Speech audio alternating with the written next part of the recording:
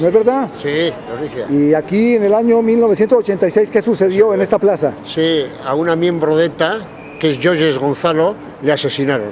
Y por eso está la placa eh, identificativa en el lugar donde le asesinaron a Georges González, que era miembro de ETA. ¿Tú la conocías? Sí. ¿Y era conocida en la familia? Muy conocida la familia. Sí, sí, los hermanos y todos siguen viviendo aquí. Ah. Sí, la familia sigue viviendo aquí, los hermanos y todos viven aquí. Porque ella le decían que era una traidora. Sí, claro, porque ella trató de renunciar, lógicamente trató de salirse de la organización, pero como era una persona importante no le permitieron y le asesinaron. En esta plaza, en, ese, en ese local, donde está esa plaquita blanca, es el lugar.